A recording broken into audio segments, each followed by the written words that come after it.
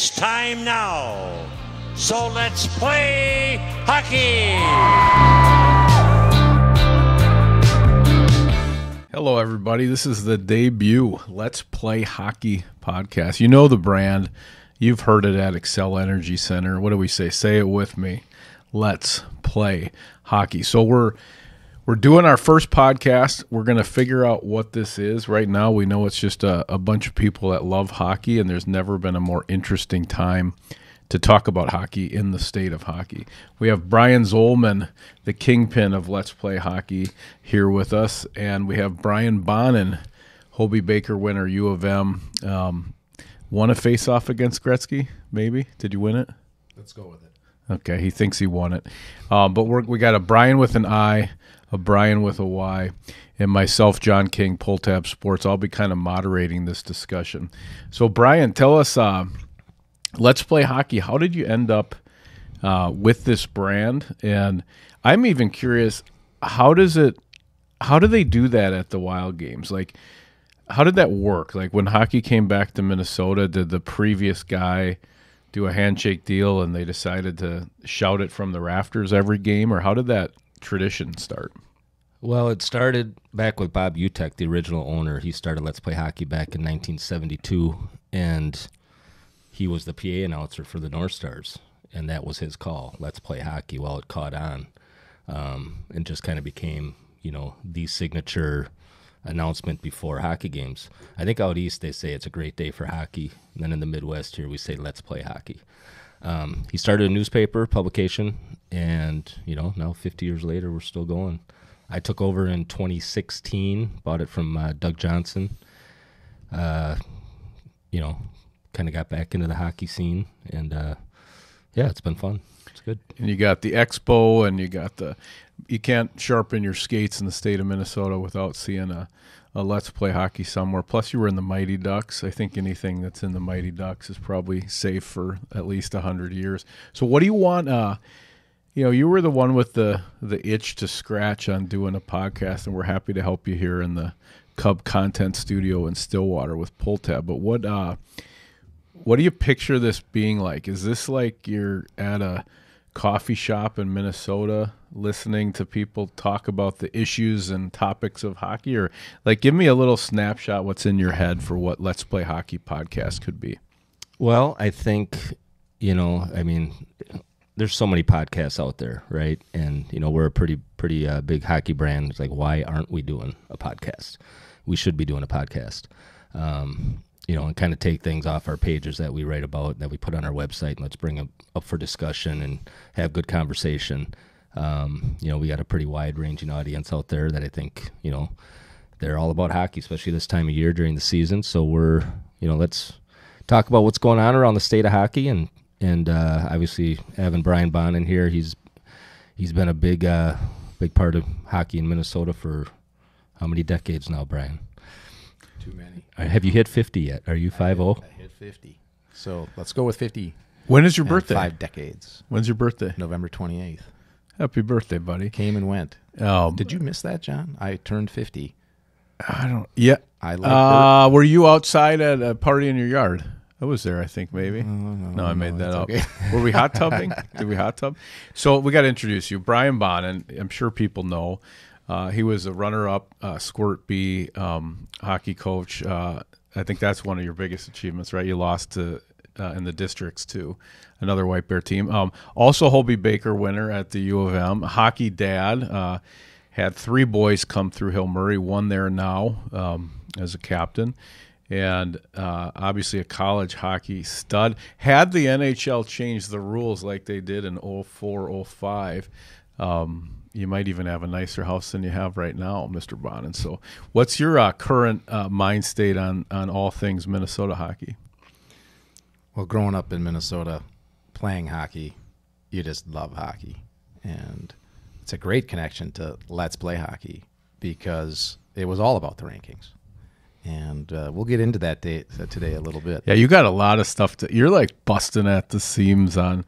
I got the pleasure of. Uh, so my background: uh, weak ankled football player from Edina, sports editor for the yearbook. Um, so I'm basically a sideshow attraction Um, I love the game; it's my favorite sport. But I, I play every Tuesday night at nine fifty um, at the Hippodrome. So, um, and I'll be kind of. Uh, I think we'll figure out who is the moderator of this podcast and what the format looks like going forward. All right, now we're going to get a word from our sponsors. Uh, tell me about this Goon Guard Protect Your Chicklets. Looks like a picture of uh, Pat Maroon or um, maybe uh, Zach Bogosian on here. What's this mouth guard all about? Well, it's a uh, it's a great mouth guard. Um, form fitting, microwavable. It fits very snug and very good. It really helps a player to protect their teeth. It also, you know, mouth guards are worn a lot to protect from concussions as well, right? Because you you know um, the compression part of it. So uh, and you breathe better, you know. So those last 15 seconds of your shift, you know, you're wearing a goon guard. You might be faster than the than the guy who's wearing a, a different mouth guard, right? You might have some a little extra in your lungs to get that little extra burst. Uh, it says cu- great for braces too, so I know you know you'll probably have adult braces before long. And uh, where do you want people to go? To go to? Are they supposed to go to this goonguard.com? Go or to, do they want to put a code in for Let's Play Hockey? Go to goonguard.com, and uh, we will probably get a code up here soon. But go to goonguard.com. You can get them in team colors. They come in a two pack and are very affordable. I think they're twenty four ninety nine for two. It comes with a uh, carrying case as well. Um, yeah, recommended by Let's Play Hockey. Awesome, Goonguard. Check them out. What we did today I got a coach's board in front of me, a grease board. We, like all great things, we started it on a group text. Each of us submitted three topics to discuss. Maybe this thing's 45, maybe it's an hour today, and we'll work through some topics. Uh, Zollman, uh, you're the one with the brand. Uh, what's our first topic of the day? I'm, I'm giving you the conch, as they say in Lord of the Flies. Oh boy, I don't think I've seen Lord of the Flies. Um, you know, I think I think one of the big topics, you know, everyone's talking about is is Minnetonka. You know, how good are they? Is this the best team we've seen um, in the last, you know, 20, 30, 40, 50 ever? Uh, you know, um, I think we've all seen them play. Yeah, I took a, a pilgrimage out to see them play. Um, well, why don't you start? What you you kind of study this? You got photographers at games. You have to do rankings and such. What's your take on uh, the Galacticos, uh, the super team from Minnetonka? Well, you know, I watched them play Wayzata in front of a sold out uh, crowd. Just awesome atmosphere um, over the holiday break there. And obviously impressed, very impressed. But I can tell you, um, you know, ended in a 1 1 tie.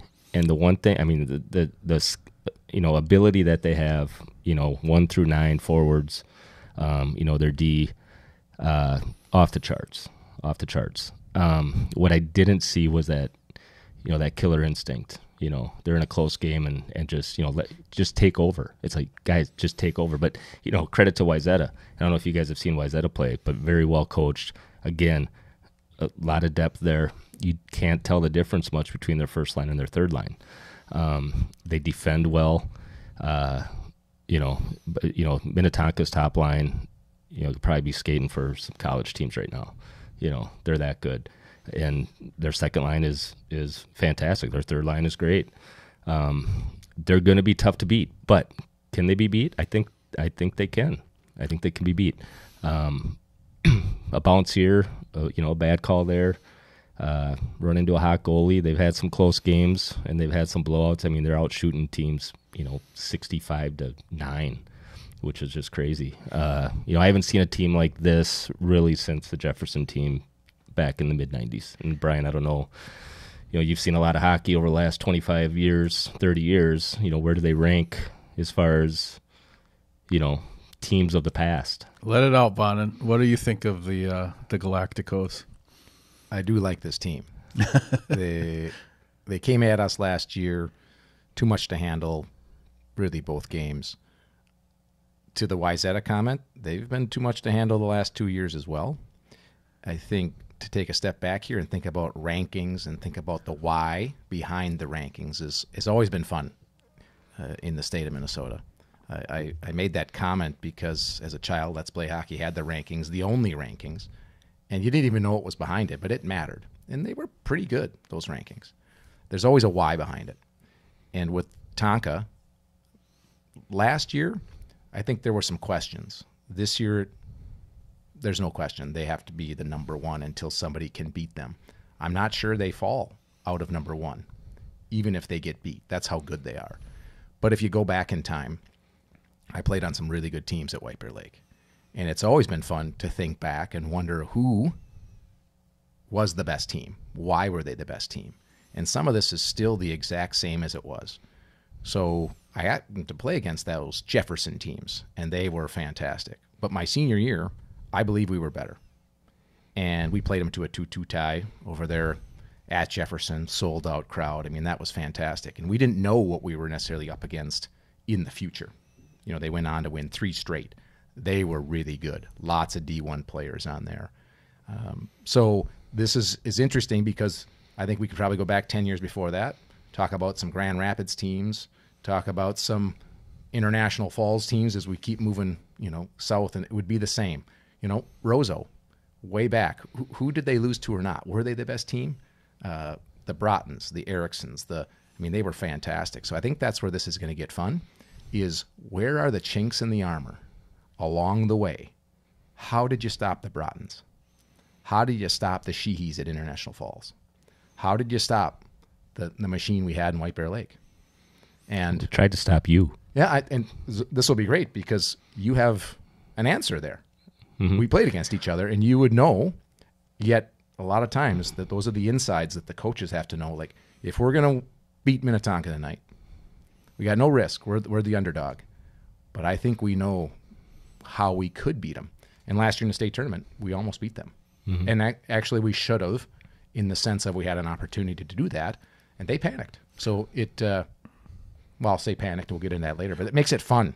Where do you think they rank you two? So uh, I'm calling them the Galacticos because it reminds me when Beckham and Figo and Ronaldo and all these guys came together on Real Madrid. I mean, they are a super team. Um, so basically, on the outside looking in, so I, my kids are done playing hockey. This is what you hear. Someone like me, just a a regular guy, you hear there's a super team in Minnetonka. I've heard they got 12 D1 players, 8 D1 players, 9 D1 players.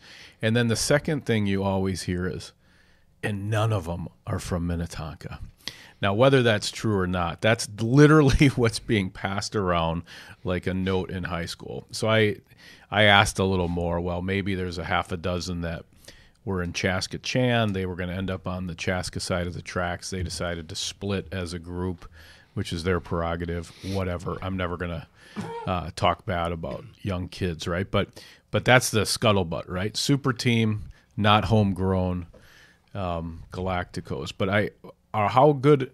Everything changes. Skill level changes, right? The way people are playing in the NHL looks nothing like when when Gretzky was playing.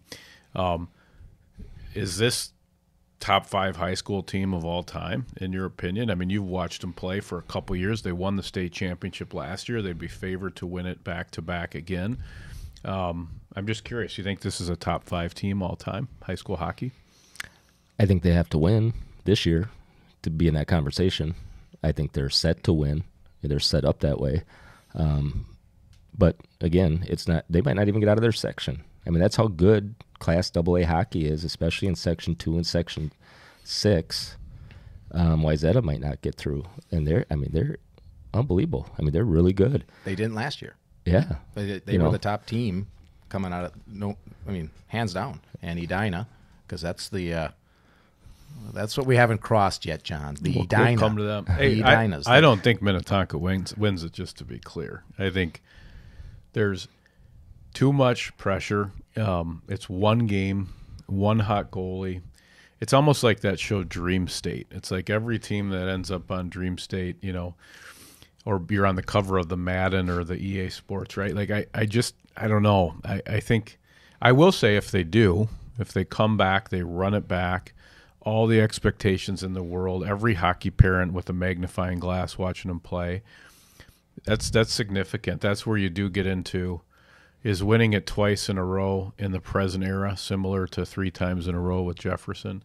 Um, but you uh, you know you get there. I so what do you what do you think on you've seen a lot of teams and you've seen some different eras as well, just like Zollman. But what do you think on Tonka? Where do they rank? Yeah, I got to be careful. I don't know enough in the history of teams and and the the back to back, the ability to go back to back. That's what's so impressive about Jefferson. And if you go back in the the annals of, of high school hockey uh, here in Minnesota, there's some really good programs. So just the amount of pressure that Jefferson was on to win those three uh, titles in a row is uh, tough to beat. Uh, whether it was 50 years ago or 20 years ago or today. And you said one game. Um, it's actually six games. Those three sections and three in the tourney, and even last year for how good Tonka was last year. If you look at the results of those games, it's not indicative of what you would actually think. They should have won five nothing all three games. So that should just tell you what you're up against. And now, yeah, with all the pressure, I don't know if Jefferson had that or not. So um, I think uh, that's what will be fun in this conversation. We'll go back in time and have those conversations, but they are feeling it because you're right about the rumors. The rumors are out, and there's all sorts of people that want to take them down socially, you know, on the on the outside the rink and then inside the rink. Nothing to lose. So they're they're there, but it, it would be hard to put them up on that pedestal if they Until can't they win don't a second one. When the, so the thing that was fun. So Zollman, I went and watched uh, Brian's kid plays for Hill Murray, and they played Minnetonka, the super team, and I did this thing that I would encourage others to do. So I don't have a, a horse in the race, right? So I I'm like a guy. I'm like the old guy that just goes and watches a random high school hockey game, um, which is a really good thing to be, by the way. It's less stressful. It's better to be a young guy going to watch high school hockey games. Yeah, true, true. But I I get there, and I said, "Here's what I want to do." I think they have 10 D1 players or something. I said, "Don't even show me the. I don't want to see the score sheet. I'm just going to watch this game with my eyes, and I'm just going to tell you when I think a player is a D1 player." And it was like making microwave popcorn. You would just be like, I go 15 and you go yep. And then 2 minutes later I'd be like 21 yep. And uh, I mean they flash. Uh, the interesting thing about Tonka this Galacticos deal is they just don't they just ram it down your throat. I've never seen a team that's like yeah deal with it. Deal with us. We are pedal to the metal we don't care you know, we're going to keep shoving food in your mouth until you throw up. I mean, I, I it was like, and I think that's potentially what makes them beatable. Because you said something at the game when we were there, which was interesting. You said if this team makes a couple mistakes or a mistake, they're like the Russian army trying to figure out how to pull the goalie. Like I even I looked at their goalie, who you don't even notice when you watch him play, and he seems kind of smaller. And I thought, man, you know, I don't know. There's a lot of competition out west. Um, we'll see, but it is something I would go take a look at. It's like you're going to the auto show looking at a concept car. I, I think it's worth making a trek to Minnetonka, see all the people standing on the railing, observing uh, the experiment. Um, so yeah, man, it's, uh, it's maybe a- exciting. It's exciting for high school hockey. Hey, they all stayed at a high school, even if they didn't grow up there. So that's pretty cool, and uh, and it's fun to have a target. Well, they got a couple games versus Edina. Maybe on the road over at Braemar. That could be. Edina will do just fine. Uh, here we go. Um, anything else on Tonka? Either of you? I'm just moderating here. I, Well, I'll echo what you said. You know, I think it is good for high school hockey to have a team like this. You know, I mean, do they have a target on their back? Yeah, and I think that's you know might not be good for them. you can't Um, see it though because they're so far ahead of you. Yeah, right. um, I will say they are very, very well coached. Um, I think Goldsworthy does a great job, and I think that's why they are so good. People want to play for him. They really do. Um, and you know, if they win, it's going to be fun to watch. If they get beat, it's going to be fun to watch. You know, and so it's it's great for high school hockey. They're a great villain. You know, That- that- that's what they are. They're a villain. I, I'm sorry, but it's it's, and it makes a great movie. You need a cowboy in a black hat uh, to watch it. So we've gone through one topic, uh, but it was on two lists. So this podcast should be about six or seven hours. Um, Bonin, I know you got all this like angst and you got things you want to say. Why don't you pick our next topic? What's what's on your mind with the state of hockey in Minnesota? Well, here's what you wrote. You wrote online schooling and recruiting. So tell us what you mean by that, or one of those. Yeah, let's go to recruiting. Okay. That's changed quite a bit in the last. Well, I'm 50, and so I suppose let's go to age 14, uh, Bantam Camp up at Duluth, and Mike Sertich, the head coach of the Bulldogs, is there because the camp's on the Duluth campus. You're talking college recruiting, not We're going high, all not not high school Well, I'm recruiting. calling. I'm talking all recruiting. So we'll, we'll. I think this is going to cover high school, maybe even youth, but it's for sure high school Okay. to juniors to NCAA and to the NHL, and that's recruiting for the draft, uh, is what I'll call it. okay. And so if we go all the way back, um, I can remember that first time. You know, that's Mike Sertich. Everyone knew that was Mike Sertich, and he's there. Hey boys, how you doing? And you're like, well, this is fantastic. And I don't know, maybe it was a recruiting violation, but he's like, we'd love to have you playing for the dogs, you know. And you're in the practice rink and can walk through the tunnel, and there's the deck, one of my favorite rinks of all time. And you're like, yeah, this is just really, really cool. Well, there were a lot of rules back then, you know, in terms of when you could sign, when the coaches could really talk to you, really start recruiting you. And we've had kind of been on a roller coaster. We're back to, I'm not even sure the dates now of when you can start to recruit players, but there was a time about five years ago, I think it was, where kids were committing. I mean, the Lucius did they commit when they were peewees to the U? Bantams for sure. Yeah, it was it was crazy. Remember that photo? It was like uh, somebody with catching like two fish, or was- caught another big one, and they were both like they were like seven and eight years old. Yes. it got it just clowned on social media. People were like, "Hey, man, they can't Oh. shave yet." Uh, but that maybe they they seems like they've gotten out of that a little bit. It got really young, kind of gross young, and it feels like it's gone up a little bit. You know, I think it's junior. You have to be a junior now. junior high school. Yeah. Okay. it's it's being driven and um, but there's a lot of pressure and the pressure still i think sits at those younger ages because you can see some of these players there's so much going on in hockey now you can find out some information about a great player an isaac howard for instance Yeah, who just did this well i'm pretty sure on this fact got cut from the jv at hill murray just a couple of years ago Isaac Howard from Hudson, Wisconsin. i'm i'm pretty sure so we'll have the to look up. giant bag of swag that just won the World Juniors, Michigan State, Tampa Bay Lightning, got cut from Hill Murray. as an eighth grader, I believe it is. So we're gonna we're gonna back that up. So if you think about this, but what that story That's unbelievable. will tell people is one, in eighth grade you're a first year Bantam. What are you doing playing JV? Isaac Howard, as an eighth grader, drove a Camaro to that tryout. I promise you. He and he had a USA Hockey belt buckle. How great and is a that? white suit. But you have that. You know, you have the two Anderson. So what's your point here? Is that that at, at, the age that people are making decisions about kids is too young? That's what you're saying. it's they're thinking about it too young. Yeah. The recruiters and agents and those that are trying to help you through this process because there's money to be made here and there's some professionals that can help you. But there's a lot of professionals with a lot of opinions. And as we talk about those players of ours leaving their associations, maybe leaving their area to play for a different school, you kind of touched on this with the rumor about Minnetonka and the Chaska Chan, and it's actually it is happening um, in many It's areas. see almost transfer portal like at the high school level. I mean, this has always happened. There's always been mailboxes. I mean, uh, private schools have always had a, a unique advantage because they can take kids from wherever, and then there's always been some borderline, you know, mailboxes and such. You know, East Dillon, West Dillon, Friday Night Lights, right? But I. Uh, you think? Do you think it's gotten more rampant, where it's sort of like, hey, birth year, hey, we're all. Uh, I don't even know what the birth year would be anymore. My son was an 01, but hey, we're all 01s. We're kind of looking at the board here. I think if we all go, uh, if we get six of us to go to Andover, uh, we could have a pretty good time in St. Paul for a couple years. You think it's that matter of fact? Like somebody's at a tournament, like the Dream Team, deciding when they get back to the NBA they want to play together? I think it is, and why not?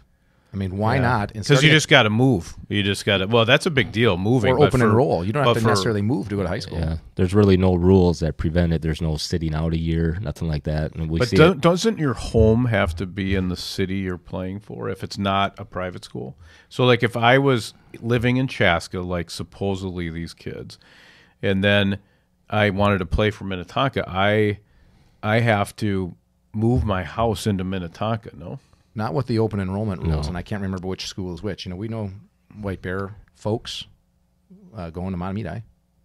You know, so like just knowing that, I don't know what the rules are. I think Hopkins, you know, you Hopkins kids. If you play hockey, you're going to Tonka. If you play basketball and you live in Minnetonka, you're going to Hopkins. I think, you know, it's kind of not 100% on that, but, you know, that's kind of what I've heard through through the grapevine. There's no penalty of with the open enrollment. What it has done, I think, it has ha- has kind of leveled the playing field with the private schools.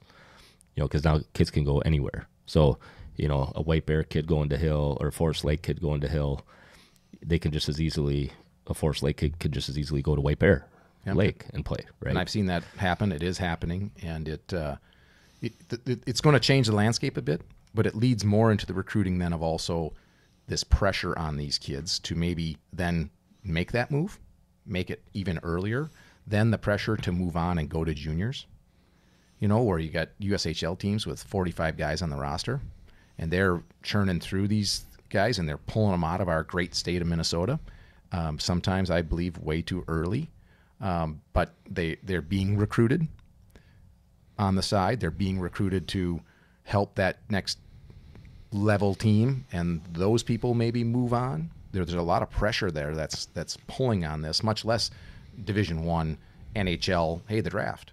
You need to do this, this, and this to get there, and okay, I better go do that because the Luciuses did it yeah. or the so there's this pressure to to move on, which is what's so great about Tonka. At least these guys are are coming back. We're, we still have some of that, but but man, this recruiting, um, the the intensity of like I better make a choice here at age 14 about someday at age 22 playing with some men.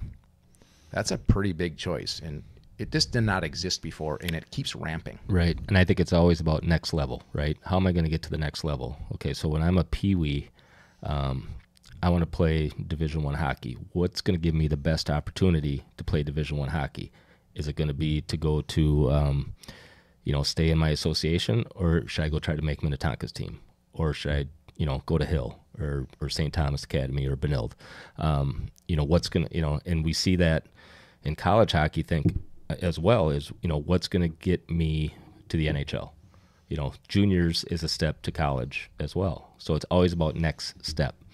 And you know, a lot of people are going to make their choices on what's going to get them to that next level. And you know, back when we played, Brian, it was, we just wanted to play in the state tournament, right? You know, and if we were lucky enough, and you were fortunate enough to to play Division One hockey, um, the opportunities were there. And I don't know, you'd have to maybe explain the recruiting process back then. I wasn't good enough to get recruited to play college hockey. You know, I, I'm guessing it's just way more rampant nowadays than it was back in you know the mid '90s. That's my guess. I, you would have a better idea on that. it's certainly different and i wouldn't know the extent of today what that rank is you know do i do i get to the ushl as soon as possible to be as good as i possibly can in the ushl to get my draft rank for the nhl up am i actually looking for the best ncaa division one team where i can play a certain style under a certain coach coaching staff out east do you stay west and at least I would tell you in the old days, it was like, uh, I got a call from Michigan State. Sounds awesome. Let's just let's just do that. I I don't know how many guys they got. I Kip Miller's there. He won the Hobey. He's fantastic. Like I'll play with him. Uh, That that was a much simpler question to to answer. And juniors wasn't even part of the equation, right? Wasn't part of the You know, it Yeah. there wasn't that stepping stone. You know, it was basically you graduate and you go play college hockey. If you weren't good enough to play college hockey, then you you know you could go play juniors. You could. and I think what's missed along the lines here is in this recruiting and the pressure that's happening is this idea of get to that next level, not understanding how much of a jump that next level is. So, John, we're at that game, the Tonka game. It's six rip. Um, could have been 10 rip, could have been 4 4 because of how the ebbs and flow of, of, of the game happens. Take that up a, a notch, you got to be ready for that at the USHL level. So one of my questions would be back to the players and stick around. You got to score three goals in that game. Dominate your level. You need to dominate on a regular basis, and Tonka is doing that, and Yen they're winning four three. They're tying Wayzata. They're so it tells you how tough that is. You need to get yourself ready for that next level. The longer you can have some space and time in this game today, the longer you should maybe stay there and become a man because I'm telling you, it continues to just go.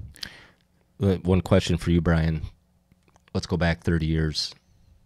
USHL calls and says, hey, you know, take today's hockey landscape and let's bring it back 30 years. Would you have stayed or would you have played juniors your senior year?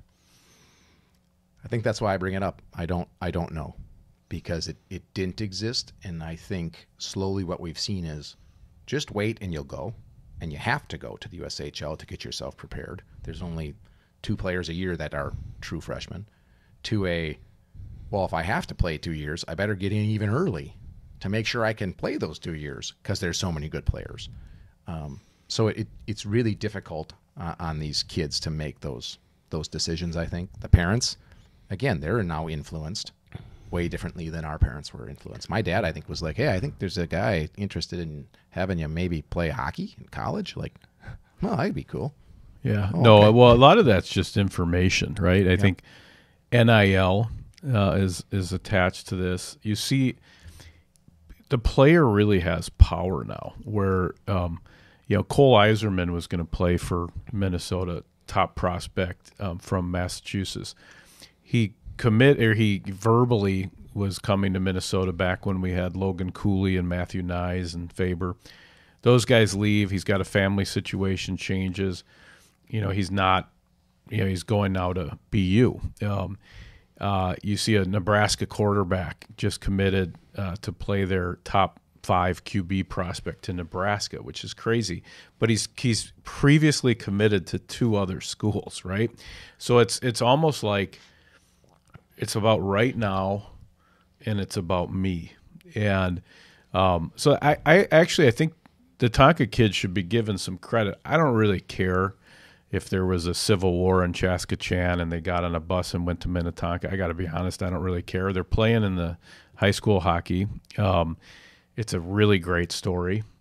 Um, they're very talented and and they got a target on their back, and I think it makes it more fun for everybody. You know, it's a it's a hell of a story, and um, it's not unlike when you know Budish and Anders Lee and all these guys they called themselves the brothers, and they decided to stay in high school and played multiple sports in Edina. I mean, I think you know as long as you're you're here, um, it's pretty cool. But your message, I think, to button what you said is, don't be in such a hurry to get to the next level if you're not dominating the one you're at right now, right? Yep. It's hard because you'll see players around you, past players that are. That's where I want to get. And um, if they have three goals and I have three goals, then I'm ready. And uh, so it's just continuing to push that. And I love this game. I don't want these players leaving. And uh, I think they'll look back and say these were the greatest years. I mean, this opportunity to do this, people casually throw that out there. Oh, these guys have an opportunity to repeat. That is something so unique and so cool.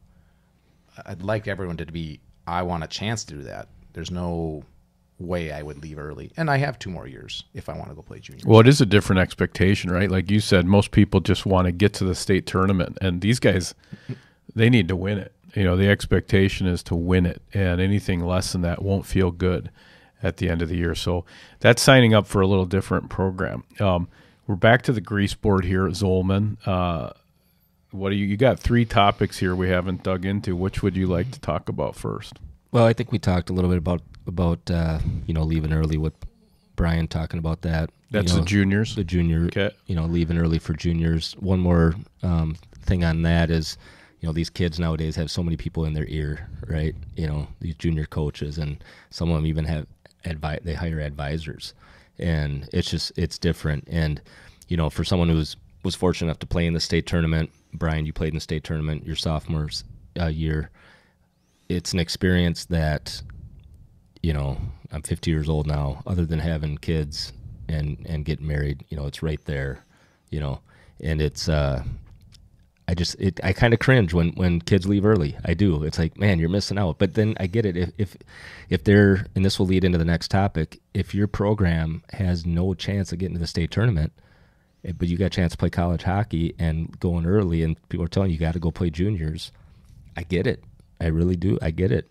And so let's go now to class double A parity. You know, really, there's probably 10, 15 teams there that on any given night can can beat each other, right? And Brian, I don't know if you agree on that, but um, then again, there's a there's a whole host of teams out there that really don't have a shot at getting through sections. You know, do we need a third class? Boy, we didn't even want a second class back in the day. A lot of people didn't, but um, but I will say that you know the top programs in Double A are so good. Um, well, we just you know you guys fell to 18th or Hill fell to 18th in the rankings St. Thomas. What? St. Thomas jumped up to four. Well, then Hill goes and beats St. Thomas, you know, five to two. Um, you know, so it's I mean the uh, the parity one through 15, one through twenty, even uh, the hockey's just it's phenomenal. So you're saying high school hockey's almost turning into college football, where there's like a a, a special class of um, ten to fifteen teams that are just a tier above. Uh, absolutely, absolutely. And it's kind of and, and any given night, those teams, it's a coin toss who beats each other. But then there's just a whole bunch of other teams without a real chance. Yeah, I mean, but you look at Minnetonka and how good they are, and we can't we can't sit here and say, well, they're going to win easy. You know, they're going they might not get through their section. I mean, that's how good Double A hockey is. But there again, there's two, three teams each section, five, six, seven, eight. Really, no chance. I hate to say it, but there, you know, it's just it's reality of the situation. Um, and you can go back to association hockey. What associations are really building um, that feeder program, and are the feeder programs? Edina, I think, is is they don't need to go outside the association and bring people in because I mean they could probably have three high school teams that would be in the top twenty, you know. Um, but is there, um, you know, are these teams on the outside looking in? Is the door open enough for them to sneak sneak in? I don't know. You know, you got your ten to fifteen programs there that are there who are the, who are year. the big boys? Who are the you think of Tonka being kind of the special treat? Who are the other teams you put on one or two hands that are that got some some sharp teeth? Well, I think Maple Grove. I think Andover, Hill Murray, obviously Benilde, uh, St. Thomas Academy. You know, year in and year out. Wayzata, Minnetonka, Edina. Edina, obviously. Um, So that's almost ten right there. yep. And, Uh, Holy know, Family got into a, a little spicy one. It looked like with Edina the other day. Um, Rogers is a program that's kind of a kind of a Maple Grove type situation. I think where Maple, the you know, the community just grew, and the hockey kind of grew with it. Maple Grove became kind of a powerhouse in youth hockey and now high school. And I think Rogers is on their way to that as well. Um, but yeah, I think there's a dozen teams there that have legit, and legit it's chance. heavy on the west side. So, be interesting to see here in the next five, ten years because recruiting, like real recruiting, will be happening, public and private. But certainly at the private, you're you're selling, you know, a full package and a different package to to folks. And in hockey, you might also be selling ice time. You know, there's only so many there's only so many minutes uh, for the Edina Youth Association, the Wayzata Youth Association, the Tonka Youth Association, the Eden Prairie. Big numbers. So um, I love hockey. I'd like to play. There might be an opportunity at Benilde, Holy Family. Does Providence move that direction? Do we start to see some of that just because of the opportunity? Um, but on that west side, there's there's powerhouses, and each year I'd say what makes the difference is when Wayzata this year can compete with a Tonka because they have three lines. Depth is key. You gotta we've talked about that at the youth youth associations level forever. Build as many players as possible because in the end, if you're playing with the big boys, you gotta have depth. Isn't that funny too? Because everything's geared towards individuality, right? The celebrating and skating away from your teammates to do some skit, right? But even when my daughter was playing, I remember the teams that would always smoke us. I couldn't tell who was who. Like we would play Mounds View, and they would have this deep girls team, and I didn't know which line was which. I didn't know who was the star player and who wasn't. They all looked the same. I was like, this looks like they have like 20 players that are exactly the same skill level. They're all like a nice solid 8.5 and you would just lose because even if you had one line that was studs and a couple people you're trying to hide you just couldn't beat them and so ironically if you want to be a winning team and you know win together walk together forever it's it's really about depth and it takes everyone it's not just um, ultimately, I don't know how many D1 players Tonka has, but it's going to come down probably to those other kids who aren't D1 players that are going to have to, you know, be the difference in those games to get them all the way. Um, did uh, what do you any final thoughts on uh, Double A parity or what you see from a kind of tiering of high school hockey? Well, I'd like to go with the potential of a third tier because it's about opportunity, and I was not an, a proponent of two classes way back. Still kind of frustrated with that. Not sure why. When we're looking for opportunity, uh, you know, the state tournament was really unique. So I think you know that history and. But at this point, seeing and maybe having the ability to do some sort of pairwise, that you literally throw everybody into the uh, into the soup, and you go top, you know, 32 or 64, and then the next and the next. Um, no more big school, little school. Just we're gonna who you played, what the results were, and then we throw the because that was what the intention was, in my mind. So you would say, so everybody's playing a schedule. You've got some sort of strength of schedule factor, and then you tier the tournament based on in-season performance.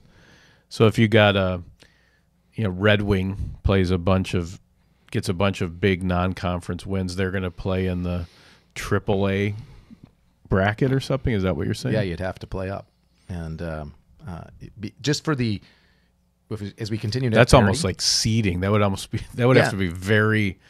Either you got to spend a lot of money on a computer program, or it's more like the um, NCAA football. You get 20 people in a smoke-filled room to figure out who goes where.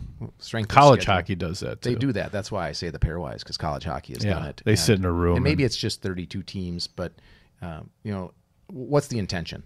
What, what are we looking for? I mean, Brian brought up this. Some teams have no chance. Well, if that's really the case, do we want those teams playing each other because of school size? I mean, that seems quite random in today's day and age. You want to see the best teams playing each other. And there's still the ability with the parity.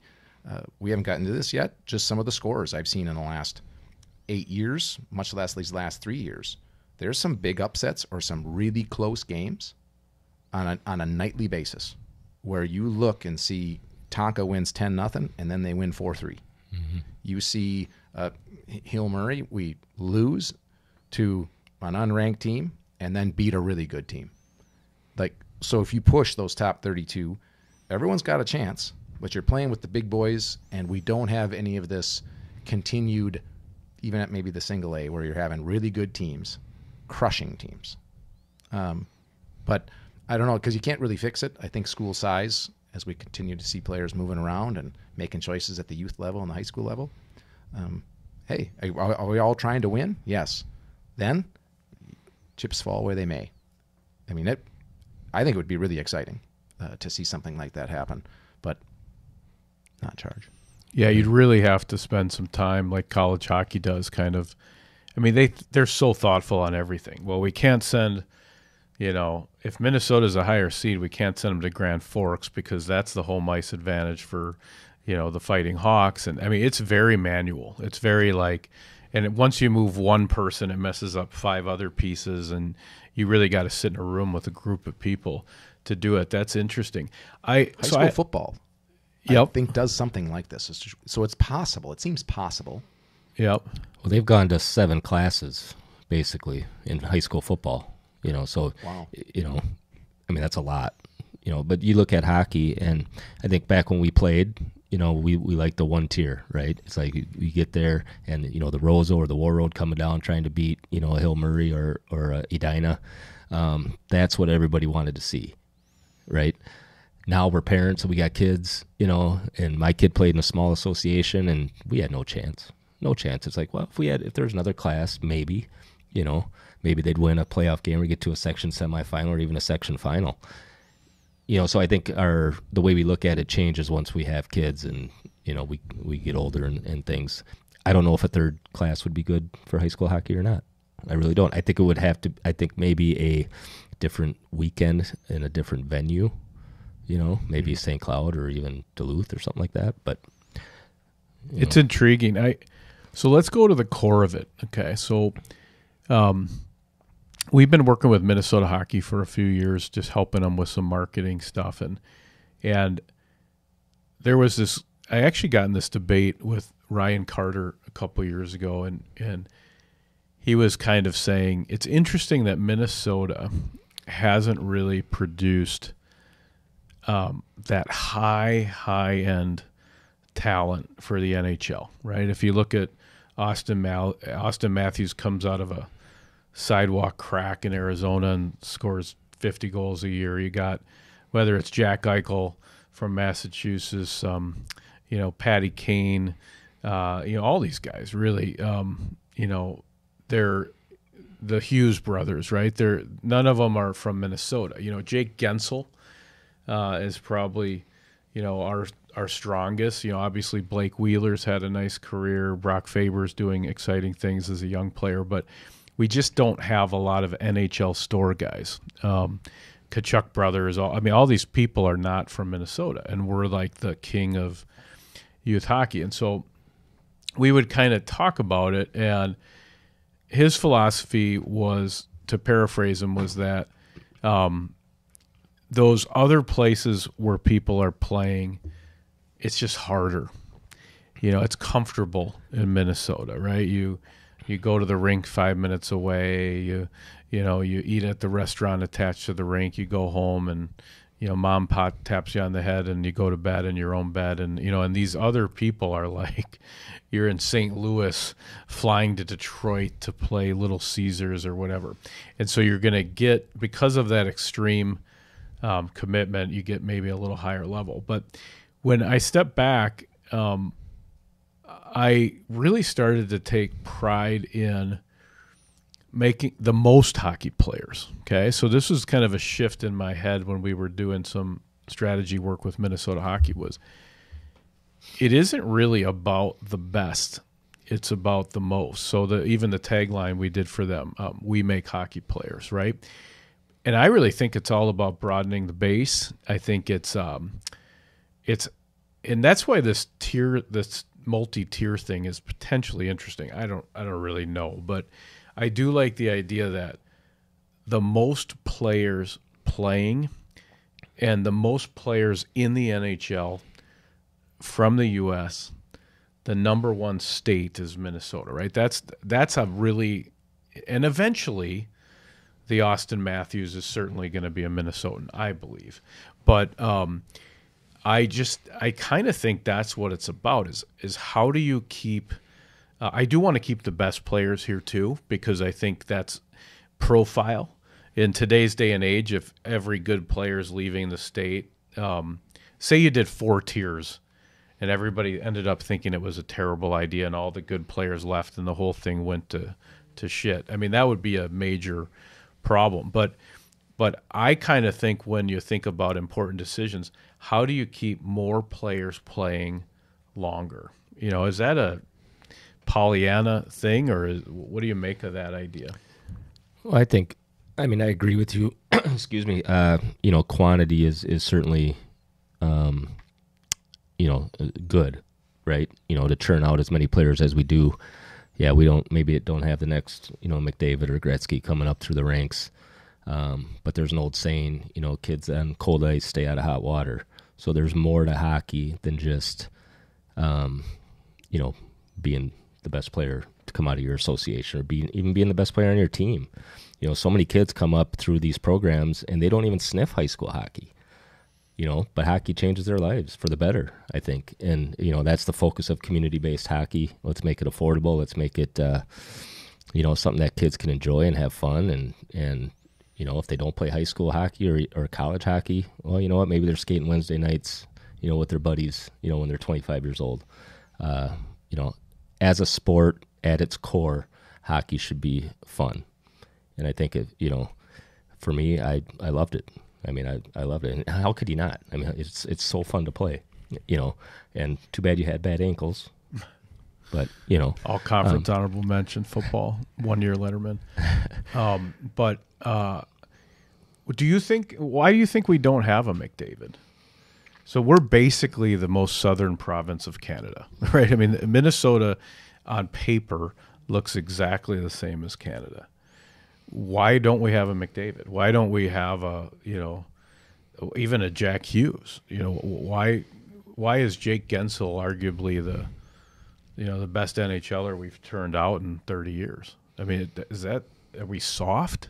Yeah, that's a little scuttlebutt in national hockey circles. As Minnesota kids are soft. You know, they want to they don't want to leave their binky in, in Minnesota. And you know, Well, you look at uh, you know the Hall of Fame. They just had an induction, and Jamie Langenbrunner was inducted. Um, very good NHL player. Was he a great NHL player? No, but you know he's a, a great leader. You know, won a couple cups, uh, captain the Team USA. Um, was he flashy? McDavid, Austin Matthews scoring a ton of goals? No, but um, you know, it, it's a good question. I really don't. You know, Canada obviously is a hockey hotbed now. You know, back in the '90s, '80s, and '90s, we didn't have all the Russians and Europeans coming over to play in the NHL either.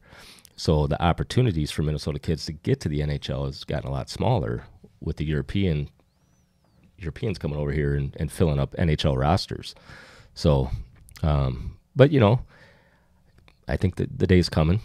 Who, who's that player going to be? Um, you know, that's that's what's great about hockey is every eight year old can think he's going to be that guy. You know, and that's what's fun about playing hockey. And you know, what do you think? Why why aren't we? Uh, how in the hell can Austin Matthews come out of Arizona and be the freak show Pablo Escobar that he is, and we haven't we haven't turned. I don't think Minnesota has a single guy in the NHL store. If each team has one jersey being hung of their best player, there's not a Minnesotan on there.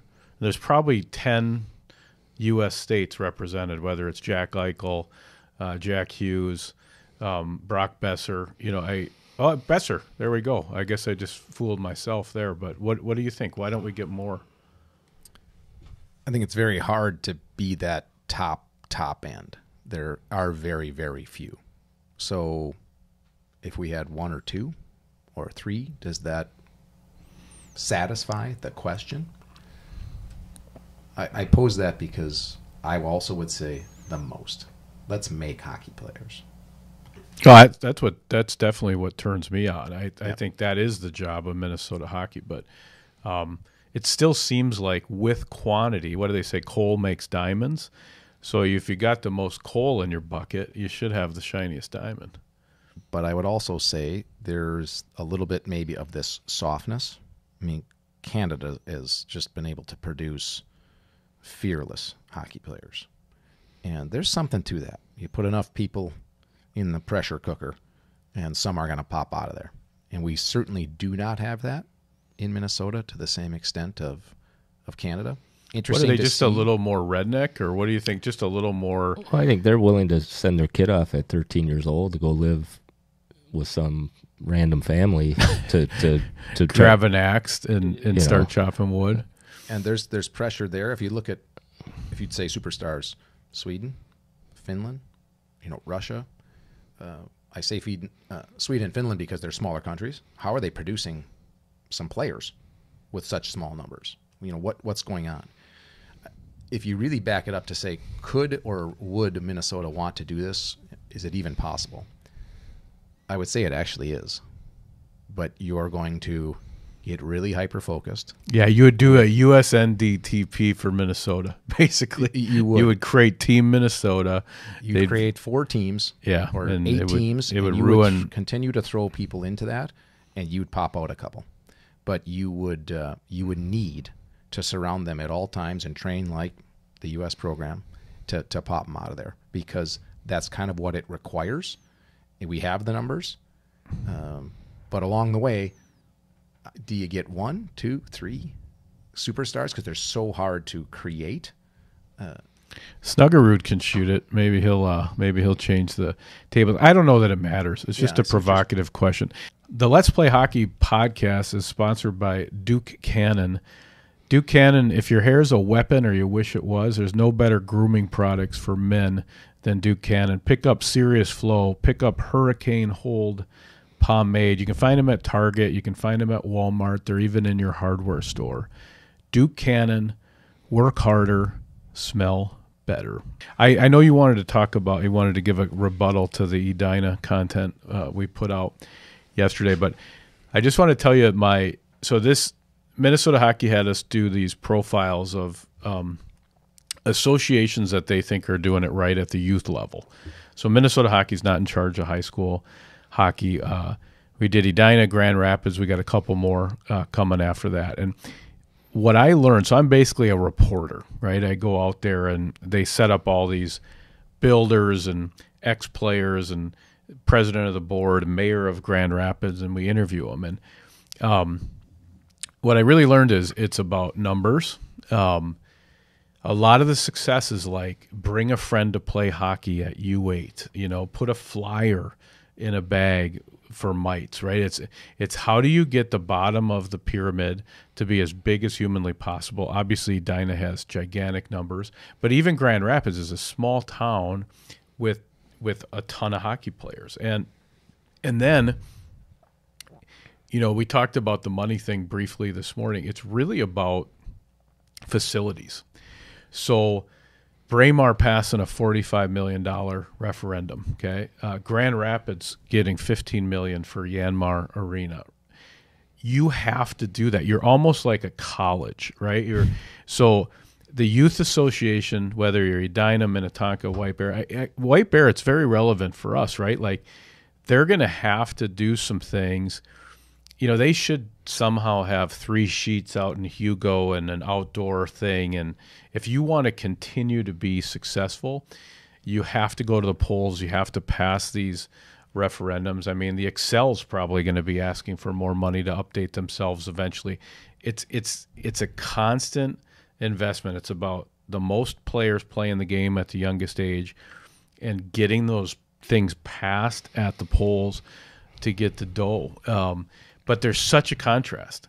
I mean, Edina's like all these people that move there for hockey. Grand Rapids, they can't even specialize in the sport because if they did that, they would only have one sport. So they, and they play outside and practice outside on the regular, and so they their teams historically get better by March because they they've been on the ice longer than some of the Metro kids. So I just think it's really interesting that the model it, it isn't just puffy coats and hanging over the railing at Minnetonka. You can be a, a Grand Rapids um, and where it's just a bunch of high IQ hockey people sitting up there uh, and a bunch of boys that want to play with their brothers and girls that want to play with their sisters. So, what was your rebuttal? You, you think it really is just about financials? You got dough, you're going to be good at hockey? It really helps. You just said it about White Bear Lake. We we have several arenas. We're going to need more if we want to continue it because the game has so just shot out of a cannon here the last couple of years, I think. So you might have a program like Hermantown just all of a sudden comes on the map and they you want to keep that going. You need ice time. So to your like referendums, rinks, you need ice time. And that helps the recruiting because as you get you on the skate. ice more, Yeah. you do more. You see more accomplishment. So Edina, if you look at that, I mean, another rink, wow, they they are going to be able to continue to just win games because they're getting more ice time.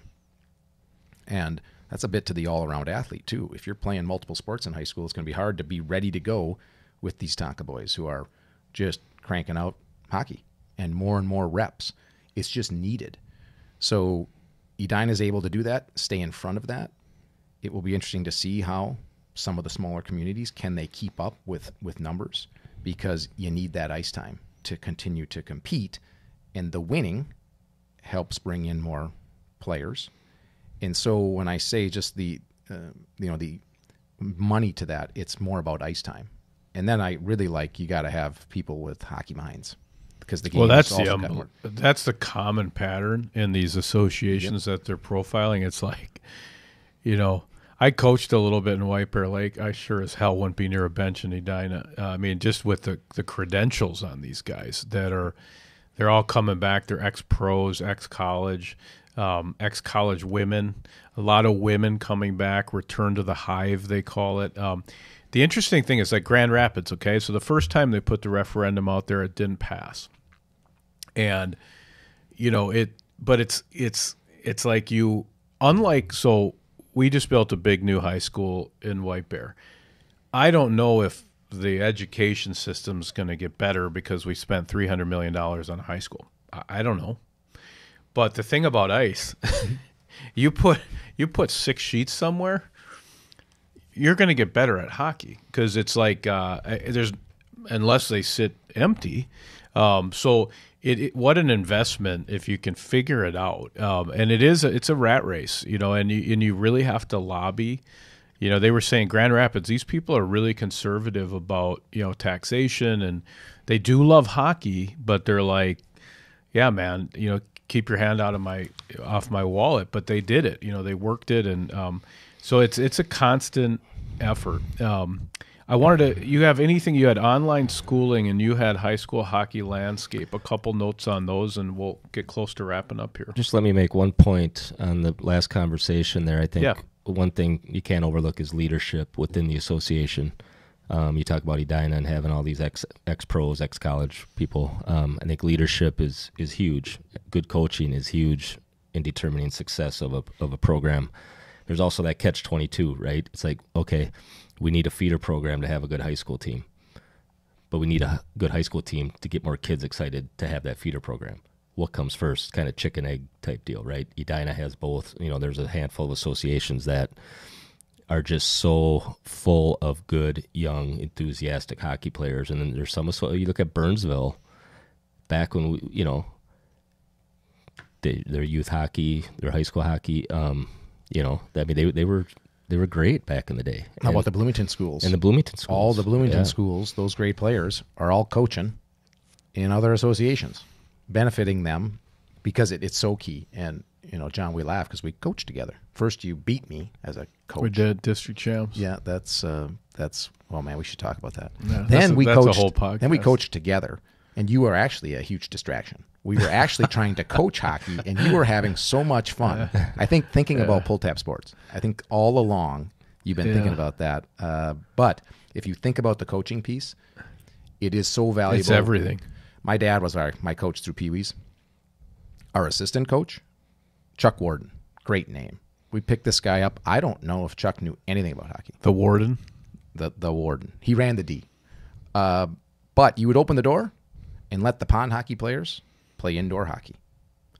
And even through high school versus moving up to college, when I look at that versus what I see today, the amount of coaching that has continued because it must. If you want to win, man, do you have to coach. And you got to coach skill. So you just need really good coaches. So you got ice time, you need players, and you need lots of good coaches. Because if I was going to be a high school coach, um, even a Bantam coach, if you really want to compete, I need a guy running the forwards and a guy running the D, and I can oversee it all. Or maybe I just coach the, the forwards. You can't coach the whole bench the way the game's going right now. Teams are too good, so you got to be paying attention to so many things, and you need the right guy or gal saying the right thing at the right time. If you're playing Edina and Tonka and White Bear Lake, and so if you look even on the east side, why White Bear? Why have we stayed good in a pretty small community, twenty five thousand people, uh, versus Forest Lake, you know, versus a Mounds View? You know, what what is well, White Bear has a lot of great hockey minds that have continued to stick around and you can make things happen with that. But you got to keep it, and you got to. All we're ever talking about is ice time in White Bear. We need more ice time. We need more ice time. So Well, that's the thing. It's interesting seeing Grand Rapids and seeing Edina. Um, White Bear needs its cathedral. You know, they they really. I, I mean, Vadnais is you know two sheets, restaurant attached. That's pretty interesting. But um, at some point, you're going to really need to make something kind of gross.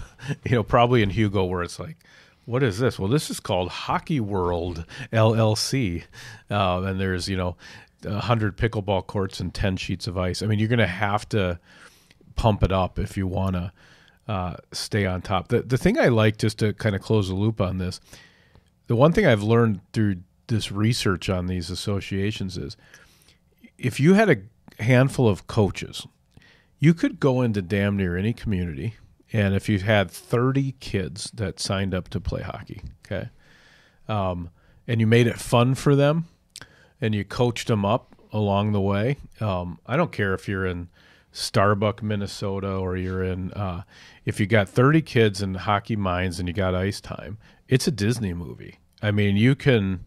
Well, we we would take that team You could as a it. contender in high school. Yeah, you, You, give us eight, ten years, guaranteed. That's what's so cool about hockey is you Guaranteed. could go into Maplewood. You could take maybe people with different backgrounds that you know you get. I don't know. You get uh, you know twenty kids that you wouldn't think would be hockey players, and you teach them how to play hockey. I mean, it it really comes down to that: is do they still love the game? Do they want to play? Do you have ice time? And do you have good coaches? Um, and can you keep them? Because it gets harder. You know, you build that team, and then they're 12 year olds, and somebody's in their ear saying, I know that Brian, they did that cool thing in your town, but like, aren't you tired of hearing his voice? Why don't you come over here? We'll make you better. But um, it's still a magical game and, and needs to be protected. The Let's Play Hockey podcast is sponsored by the Yoakum Real Estate Group. It's almost getting up on Super Bowl Sunday, and that is a trigger point in the state of Minnesota. If you're going to buy or sell a house, it's time to get it on the market by Super Bowl Sunday as the seasons change and everybody's doing their buying and selling of houses. And if you want to work with the best, go to Sarah and Jody, two twin sisters, five foot two blonde twin sisters. Uh, it's it's like having a, a full court press on all your real estate needs. Uh, think twice when it comes to your real estate, uh, and leave it to the experts at Yoakum Real Estate Group. Check them out. Good luck. Do you have anything online online schooling, high school hockey landscape? Have we covered that or not? The schooling, I'm just going to Yeah, touch what's real your quickly. thing on this? Yeah. this the ability to do that versus the experience of playing high school hockey. Um, going to school with your friends.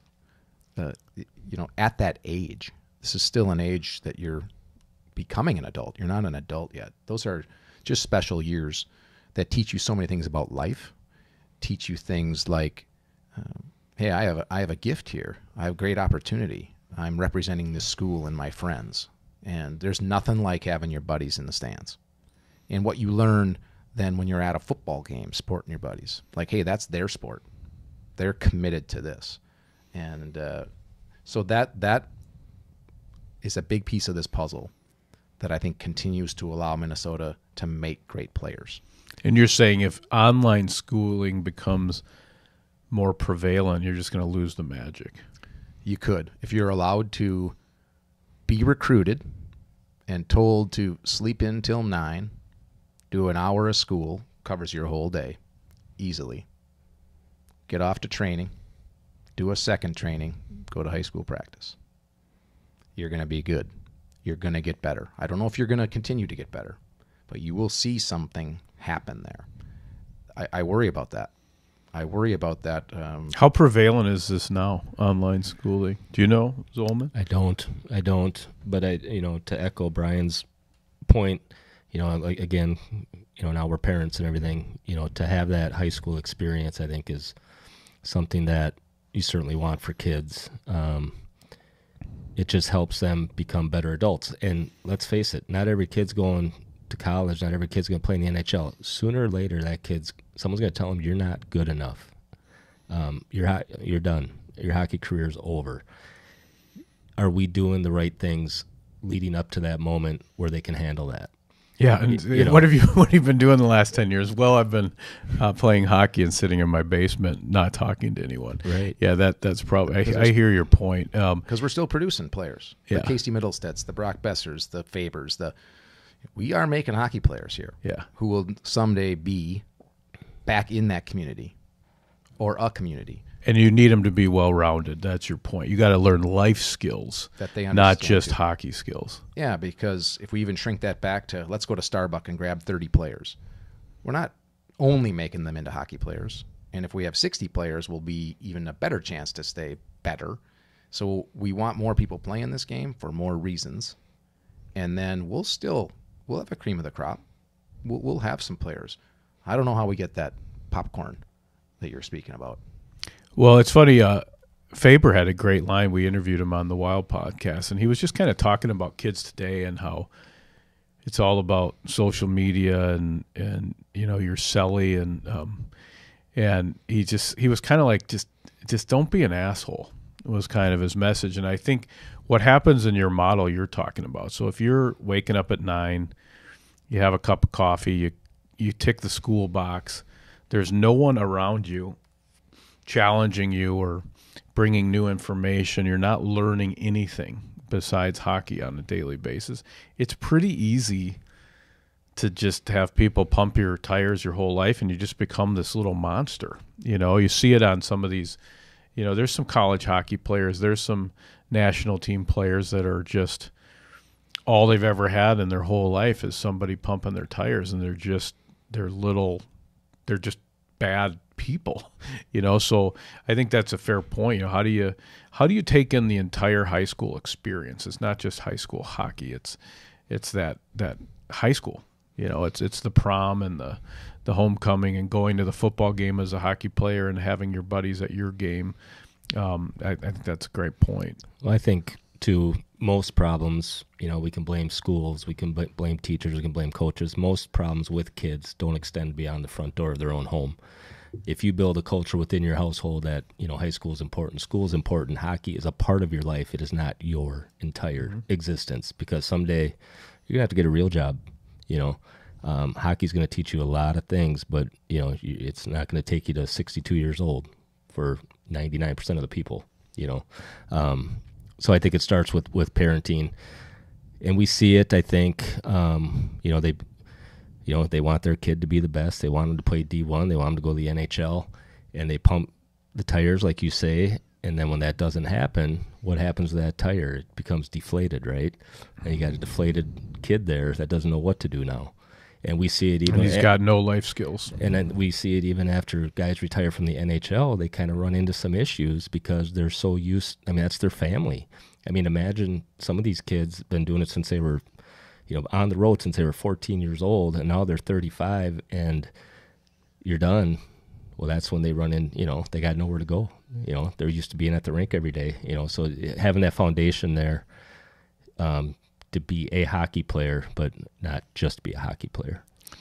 Awesome. Well, we're going to finish P Dub two minutes. We're almost done here, folks. The uh, I went to a PWHL, the home opener, along with thirteen thousand other Minnesota hockey fans, and um, it was really cool. Uh, now I don't know what they did uh, a couple nights ago. Probably five thousand. I don't know. Maybe they did eight thousand. But um, it's uh it's pretty interesting product. I encourage you to check it out. You know, the women have come so far. I remember taking my daughter to watch Krissy Wendell play at the Coliseum, you know, and she was just no one could even get the puck from her. She was just this completely an alien playing with girls, right? And now they're they're just all so good. Um, this Heise had a goal the other night that would be kind of sports center quality, you know. Um, so to watch you know i remember all the hockey dads whenever they wanted to break a tie between watching their son or their daughter they would say well it's not like they're going to play in the nhl you know talking about the girls right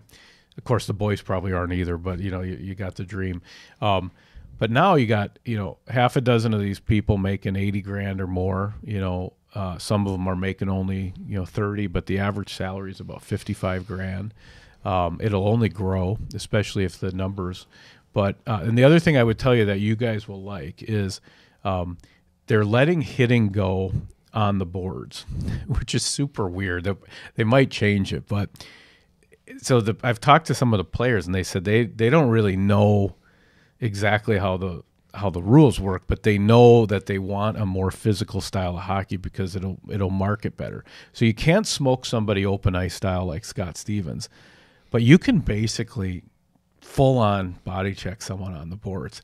And when it happens, it's a bit like high school hockey, where part of the beauty of high school hockey is there's mistakes and kids have their heads down and there's some disparity between.